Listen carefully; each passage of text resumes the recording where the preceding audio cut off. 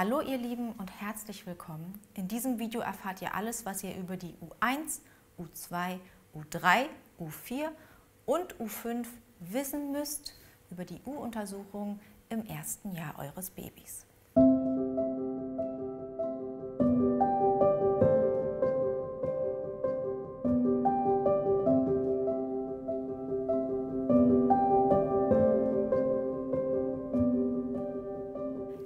Ich freue mich heute ganz besonders auf dieses Video, denn in letzter Zeit erreichen mich immer mehr Nachrichten zum Thema U-Untersuchungen, weil einfach ganz viele Fragen nach den Arztbesuchen mit Baby übrig bleiben oder offen bleiben. Und ich verstehe auch, die Kommunikation ist manchmal schwer. Man traut sich manchmal nicht, jede Frage zu stellen. Man ist auch oft überwältigt von der Situation. Diese U-Untersuchung, die Zeit ist knapp und dann hat man auch wahrscheinlich zurzeit nicht immer den Partner dabei. Und ähm, deswegen freue ich mich ganz besonders, dass wir heute dieses Video machen können. Bevor ich euch die liebe Frau Dr. Schmidt vorstelle, einmal kurz, wir sind hier in einem durchgelüfteten Raum.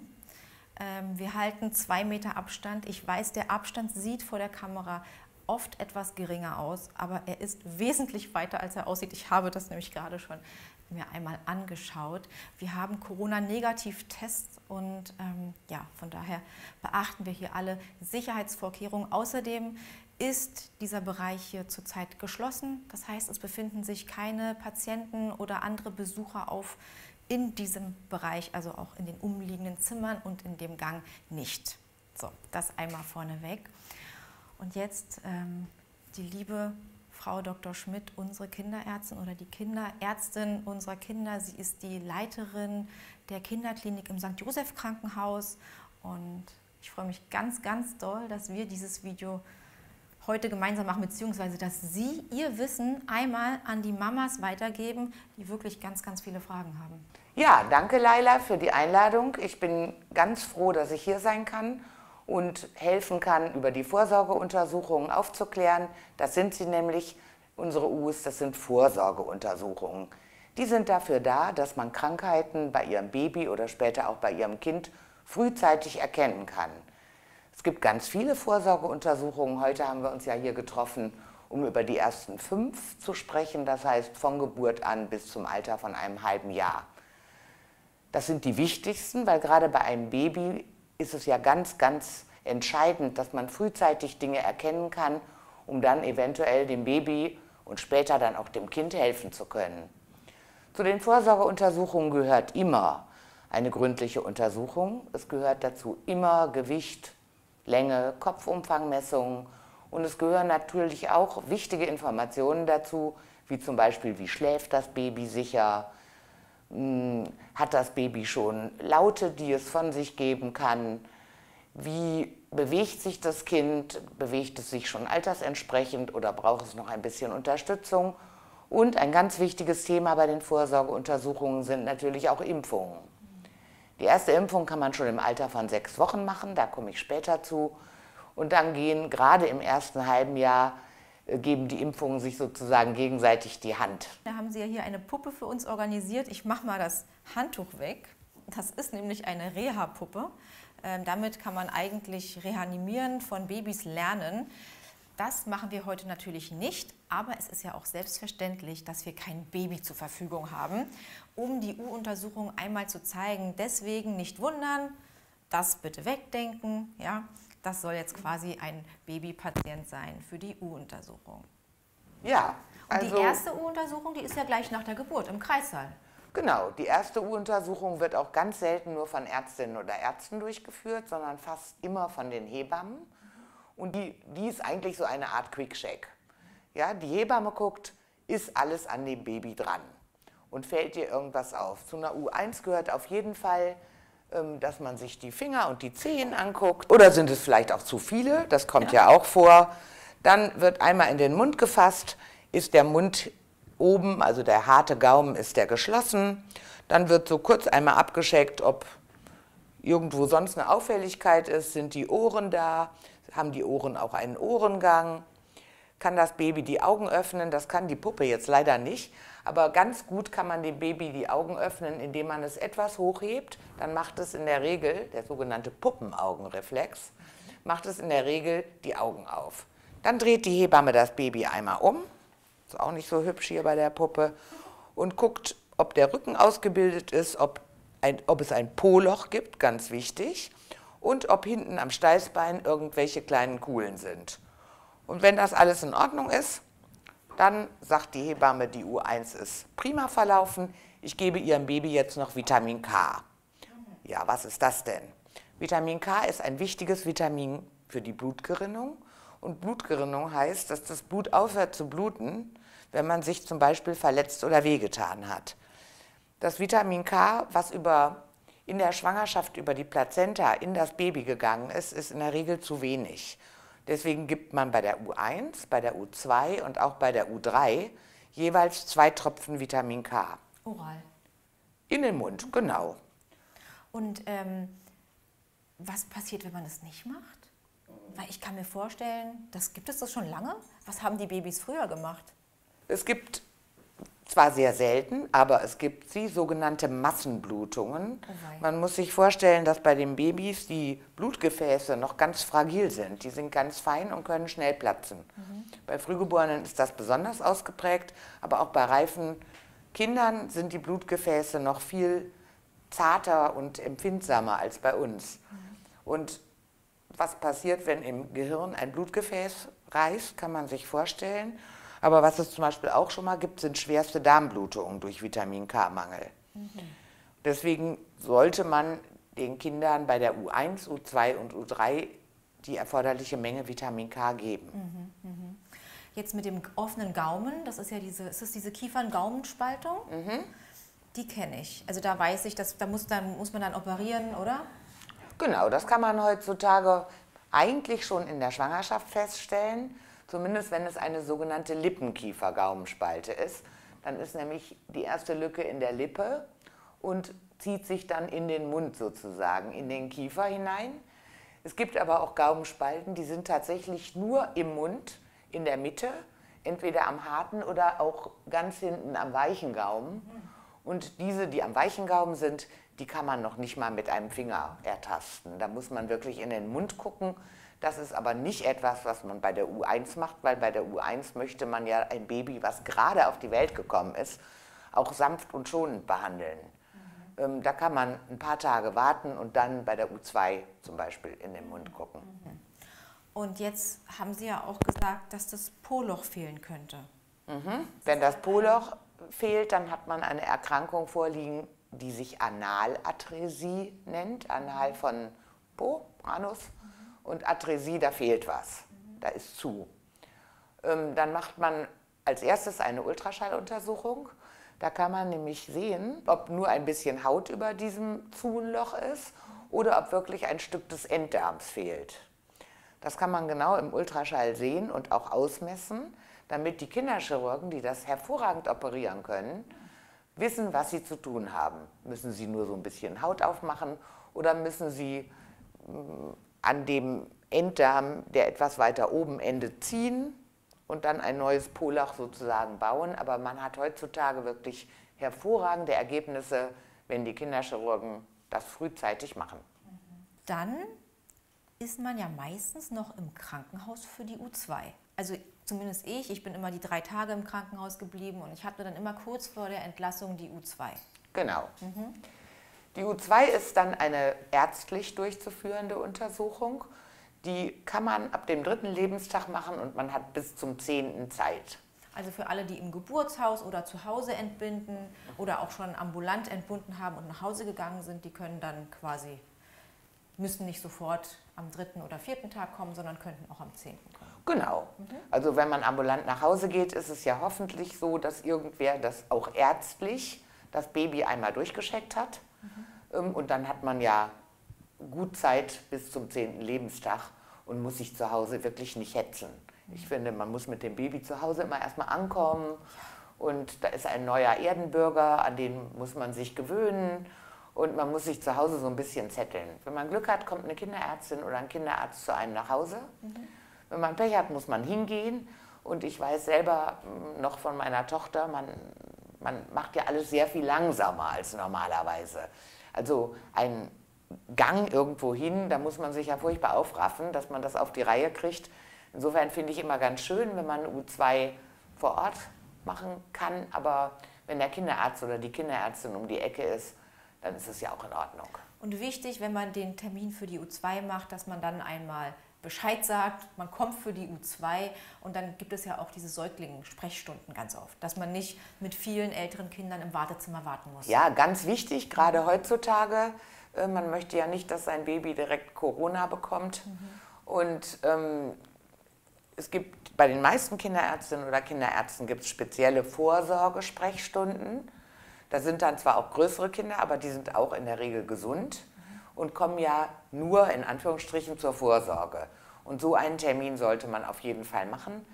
Und hat man zufällig ein frühgeborenes Baby und kann nach Hause, dann sollte man das auch dazu sagen, weil je kleiner ein Kind ist, umso anfälliger ist es gegenüber Infekten, bis auf die Infekte, die die Mutter bereits hatte, weil dafür hat das Baby ja einen Nestschutz. Übrigens noch wichtig, wenn man denn dann zu Hause ist und hat sich da gut eingerichtet, den zehnten Tag sollte man nicht versäumen, weil dann kriegt man eine Einladung und eine Aufforderung.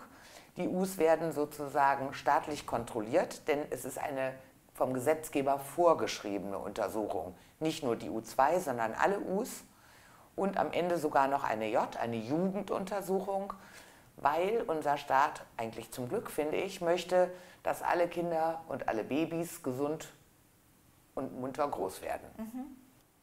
Richtig.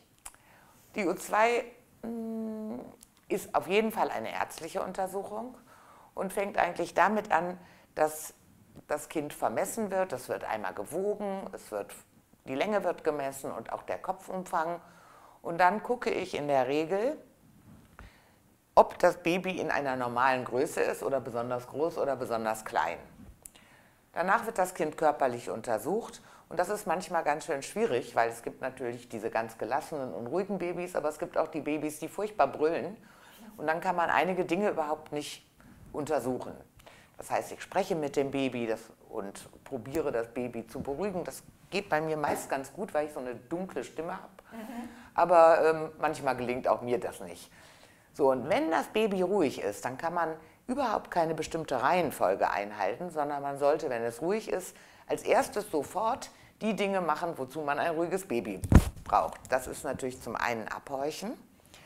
Ab dem Alter von 72 Stunden kann man Herzgeräusche hören, wenn irgendwas am Herzen nicht in Ordnung ist. Und ich zeige Ihnen das mal, wie das so geht. Ich würde dann hier abhorchen.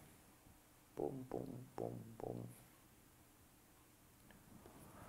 und mich freuen, wenn alles in Ordnung ist. Wenn man ein Herzgeräusch hört, dann ist das in der Regel sowas wie ksch, ksch, ksch. Und dann muss man einen Ultraschall machen, um das Herz genauer zu untersuchen. Das zweite beim ruhigen Baby, was ich mache, ich halte mit diesem Stethoskop auf die Fontanelle. Es ist ja so bei Babys, dass nicht alle Schädelknochen schon ge geschlossen sind, sondern wenn man den Kopf des Babys anfasst, dann sieht man oder dann spürt man, dass Nähte offen sind. Das sind einzelne Schädelplatten, die noch nicht verwachsen sind. Und das ist auch ganz wichtig so, damit nämlich das Gehirn des Babys wachsen kann. Man kann also diese Schädelnähte auf jeden Fall abtasten, sie sollten offen sein. Und ich höre einmal auf die sogenannte Fontanelle, das ist ähm, eine dreieckige Lücke zwischen all diesen Schädelplatten, weil es gibt auch schon mal Gefäßfehlbildungen im Kopf und die hört man dann rauschen. Und wenn man die Rauschen hört, dann muss man einen Ultraschall vom Kopf machen. Das nächste, wozu ich ein ruhiges Baby brauche, ist hier die Leistenpulse zu tasten. Einmal, zweimal. Da läuft ein großes Blutgefäß lang und da kann man den Puls tasten. Wenn man ihn nicht tastet, könnte das Hinweis für einen Herzfehler sein. Deswegen sollte man sich wirklich die ganze Zeit Mühe geben, diese Pulse auch zu tasten. Dann brauche ich ein ruhiges Baby. Oh, dann muss das Baby aber lange ruhig sein, ja? Ja, nee, ich bin ganz schnell. Dann brauche ich ein ruhiges Baby für die Augen. Man kann mit hier so einer Art Augenlampe, noch nicht in der Art, also man kann hier mit einer Augenlampe in die Augen leuchten. Und dazu muss das Baby die Augen aufhaben. Und Babys, die schreien, haben nie die Augen offen. Und dann leuchte ich praktisch in beide Augen so rein. Diese Puppe kann leider die Augen nicht aufmachen. Und was ich sehe, ist hinten einen knallroten Fleck und der muss auf beiden Augen gleich sein, erstens, und er muss eben rot sein. Wenn er grau ist, könnte das ein Hinweis sein, dass es zum Beispiel ein grauer Star ist. Und den sollte man ganz früh erkennen, dann kann man den wunderbar operieren und alles wird gut. Wenn man ihn nicht erkennt, droht das Baby das Augenlicht zu verlieren. Das allerletzte, wofür ich ein ruhiges Baby brauche, ist der Bauch. Dazu hebe ich mir die Beine so ein bisschen an und fasse erstmal mit der ganzen Hand auf den Bauch, damit sich das Baby an die Hand gewöhnt. Bei Erwachsenen würde man ja jetzt zum Beispiel die Leber so tasten. Das ist für Babys ganz schlecht. Also man braucht die ganze Hand. So, und wenn sich das Baby daran gewöhnt hat und die Hand schön warm ist, dann kann man mit den Fingerspitzen langsam in den Bauch reintasten. Man könnte zum Beispiel zu große Nieren tasten oder auf der rechten Seite eine zu große Leber oder auf der anderen Seite auch eine zu große Milz. Und wenn man gar nichts von all diesen Organen spürt, dann sind die auch nicht zu groß. Und wenn ich das alles habe, dann freue ich mich, weil jetzt brauche ich kein ruhiges Baby mehr. Und kann mich jetzt all den anderen Sachen widmen. Also ich gucke die Ohren an, die Ohrmuschel, ist die gut ausgebildet? Ich fasse einmal auf die Schlüsselbeine, die können nämlich bei der Geburt brechen. Mhm. Dann würde es hier so knistern wie Pergamentpapier. Und wäre auch ein Grund fürs Weinen. Wäre auch ein Grund mhm. fürs Weinen, ja. Ich gucke mir die Finger an und dann gucke ich mir die Innenhände an, ob die Handlinien in Ordnung sind. Die Zehen gucke ich mir an. Und dann finde ich das Baby von vorne wunderbar und drehe es genau wie eben die Hebamme einmal um. Dann gucke ich auch hinten hier die Schädelnähte, sind die schön offen, das gucke ich mir alles an. Wir hatten eben schon von der großen Fontanelle gesprochen, hier hinten ist noch eine kleine, die fasse ich auch an. Und dann gehe ich einmal den, die Wirbelsäule runter, ob mir da irgendwas auffällt. Wenn zum Beispiel ein Wirbelbogen nicht geschlossen ist, dann fällt man mit dem Finger in so eine Art Loch. Alles gut, beim Steißbein passe ich genauso auf, dann gucke ich nochmal, ob das Po-Loch in Ordnung ist und gucke auch, ob der Abstand vom Po-Loch entweder beim Mädchen zur Scheide oder beim Jungen zum Penis, ob das in Ordnung ist. Dann finde ich das alles ganz gut. Kann man dabei das Baby auf dem Bauch halten, so auf dem Arm halten als Mama oder muss es dann da liegen? Mir ist immer lieber, es liegt. Mhm. Aber man kann als Mama sehr eng dabei sein und das Baby streicheln und mit ihm sprechen. So, dann nehme ich selber das Baby hoch. Und das nächste, was ich machen ist, ich gucke, ob das Baby zuhört. Also spreche ich mit dem Baby. Wenn es schreit, dann probiere ich es zu beruhigen und ein bisschen hin und her zu schaukeln. Und schon in diesem zarten Alter von drei bis zehn Tagen können Babys ganz wunderbar und aufmerksam zuhören. Also ich gucke, ob ich eine Aufmerksamkeit hinkriege. Und dann gucke ich noch nach sogenannten neugeborenen Reflexen. Dafür nehme ich das Baby so rum und streiche hier über den Rücken und wenn es keine Puppe wäre, dann hätte das Baby jetzt wusch mit dem, mit dem Rücken in die eine bzw. in die andere Richtung reagiert. Dann stelle ich das Baby hin und Babys haben in den ersten ein, zwei Monaten einen angeborenen Schreitreflex. Wenn die Füße einen Untergrund äh, spüren, dann macht das Baby einen Schritt. Das gucke ich mir an. Dann gucke ich, ob es sich im Raum bewegen kann. Das heißt, ich mache einmal so und erwarte, boah, die Puppe ist richtig gut, dass dieses Bein angezogen wird. Hat sie super gemacht, die Puppe. Und dann mache ich es von der anderen Seite und siehe da, klappt auch. Und ganz am Ende mache ich einen sogenannten Moro-Reflex. Das ist ein ganz, ganz alter Reflex und kommt aus einer Zeit, als ja, Menschen noch Haare hatten, weil, oder Affen in Bäumen, wenn die Affenmutter ihr Baby fallen ließ, dann machte das Baby wupp, und beide Arme so. Und dann, weil es ja die Mama wieder festhalten wollte, machte es sofort so. Also wenn man das Baby nach hinten fallen lässt, macht es bum bum. Mhm. So, wenn das Baby das nicht macht, ist das ein Zeichen für eine schwere neurologische Störung. Dann muss man unbedingt weitere Untersuchungen machen. Und wenn das Baby das nur auf einer Seite macht, also dann muss man den anderen Arm untersuchen. Dann könnte entweder, wie eben schon erwähnt, was am Schlüsselbein sein oder am ähm, Oberarmgelenk oder der Oberarm ist vielleicht durch eine schwere Geburt gebrochen. Also dieser Mororeflex ist etwas ganz Wichtiges. So, ganz am Ende gucke ich noch mit einem Spatel in den Mund. Das mache ich immer am Ende, weil es unangenehm ist. Und was gucke ich mir an? Ist, sieht der Gaumen gut aus? Dann drücke ich die Zunge runter, dann sehe ich auch hinten den weichen Gaumen. Ist da irgendwie eine Spalte? Dann gucke ich meist noch mal rechts und links in die Wangentaschen. Da gibt es schon mal so kleine Zysten. Ähm, das sind so kleine weiße Perlchen. Meist beunruhigend für die Eltern, ist aber nichts Schlimmes.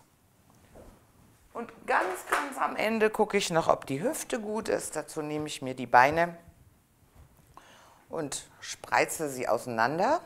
Dann sollte man mit den Knien bis zur Matte kommen und frage natürlich auch immer, ob in der Familie angeborene Hüftauffälligkeiten sind, sogenannte Hüftdysplasien, weil dann würde man jetzt schon einen Ultraschall der Hüfte machen. Ansonsten ist es vorgeschrieben, das bei der U3, also bei der nächsten Vorsorgeuntersuchung zu machen. So, dann sage ich der Mutter, dass sie ein kräftiges und fittes und ganz gesundes Baby hat und gebe es ihr in der Regel auf den Arm. Ach ja. So. Wissen Sie, was mich noch interessieren würde? Ähm, so. wenn, ähm, wenn das Kind einen Infekt hat. Also jetzt vielleicht bei der U2 sind die ja meistens noch sehr gesund, aber später bei den folgenden U-Untersuchungen, es kann ja immer sein, dass ein Kind jetzt fiebrig ist, laufende Nase hat. Verschiebt man die dann lieber? Naja, wenn das Kind in dem Alter fiebrig oder klein ist, sollte man ja sowieso zum Kinderarzt gehen.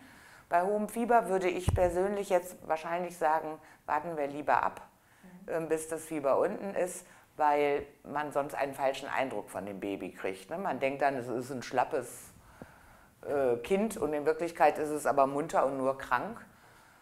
Wenn es nur in Anführungsstrichen einen Infekt hat, ohne Fieber, dann mache ich die Uhr. Mhm. Abgesehen von der körperlichen Untersuchung gehören zur U2 noch verschiedene Beratungen.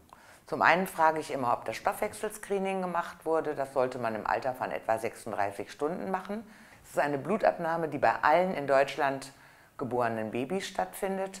Und man kann auf etwa 50 verschiedenste Stoffwechselerkrankungen untersuchen. Und zum Teil kann man diese dann auch behandeln. Dazu wird noch auf hormonelle Störungen getestet, zum Beispiel auf bestimmte Störungen der Nebennierenrinde oder auch Störungen der Schilddrüse. Und auch das sollte man früh erkennen, ähm, damit man es dann eben behandeln kann. In der Regel sagen die Mütter ja, haben wir gemacht, weil auch die Hebammen, die ja die Mütter besuchen zu Hause, darauf achten, dass dieses Stoffwechselscreening gemacht wurde. Dann frage ich, ob ein Hörscreening gemacht wurde im Krankenhaus. Hm, ein von 1000 Babys hat einen Hörschaden, einen schweren Hörschaden. Und früher waren das Kinder, die häufig auf einer Sonderschule landeten, weil überhaupt keiner wusste, dass sie schlecht hören. Ich hatte vor kurzem tatsächlich noch ein Kind aus einem Flüchtlingsheim. Mit sieben Jahren sollte es auf die Sonderschule. Es hatte aber, es war taub.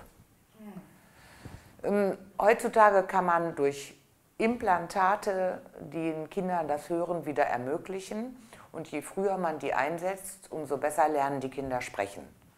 Und umso weniger sind sie dann von dieser Hörschwäche, extreme Schwerhörigkeit oder Taubheit auch in ihrem Leben beeinträchtigt. Das sind ja auch meistens sehr intelligente Kinder, weil diese Taubheit wird ja überspielt. Im jahrelangen ja. Nachahmen von Tätigkeiten, Nachmachen von Lauten, ohne zu wissen, dass sie ein, ein Sinn einfach fehlt. Ja. Auch interessant, wie die Umgebung oft nicht bemerkt, dass ein Kind taub ist. Ja, ist Oder auch eine Brille braucht. Viele Eltern wissen nicht, dass ihre Kinder eine Brille brauchen, weil die Kinder ganz intelligent gelernt haben, sich zurechtzufinden, ohne gut sehen zu können. Ja, das ist eindeutig so. Deswegen empfehle ich zum Beispiel vor der Schule, eigentlich allen Kindern einmal eine Augenärztin oder einen Augenarzt aufzusuchen. Natürlich gehört das auch zu den U's, die Augen zu testen, aber das ist relativ grob, finde ich immer. Und ein Mensch, dessen Fachgebiet das ist, der kann das natürlich noch viel besser, als wenn ich hier grob mal ein paar Zahlen an die Wand werfe. Sollte der Hörtest noch nicht gemacht werden, das ist nämlich leider manchmal so, dass der zwar im Krankenhaus durchgeführt wurde, dass durch die Geburt aber der Gehörgang noch verstopft ist und dann ist er falsch negativ. Also dann denkt man, das Kind hört nicht, aber eigentlich kann es doch hören und nur der Gehörgang war verstopft, sodass man dem ersten Test dann nicht glaubt, sondern sagt, es muss wiederholt werden. Mhm. Und dann sage ich den Eltern, ja, müssen sie unbedingt machen und da gibt es die und die Stellen in der Stadt und ähm, da können sie hingehen und können diesen Hörtest wiederholen. Und in, ja, ich glaube in 90 Prozent etwa, ich weiß es nicht ganz genau, ist der Hörtest dann in Ordnung.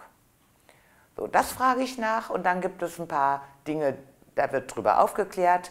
Äh, zum einen gibt es nochmal Vitamin K, das kannten wir schon von der U1. Das gibt es jetzt bei der U2 nochmal und dann später bei der U3 nochmal. Dann kläre ich auf über Vitamin D.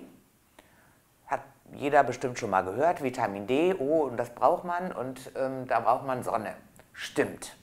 Das Vitamin D, was über die Muttermilch geht, braucht Sonne, um zu seiner wirksamen Form zu gelangen. Und wenn ich jetzt so gerade aus dem Fenster gucke, dann ist es ein bisschen grau, es ist halt November, es war heute ein bisschen Sonne.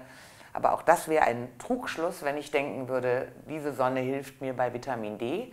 Die Sonne hilft nur zur Vitamin D-Bildung in den Monaten ohne R. Das mhm. heißt von Mai bis August, September vielleicht noch ein bisschen. Und dann auch nur, wenn sie hoch am Himmel steht, also zwischen 11 und 15 Uhr.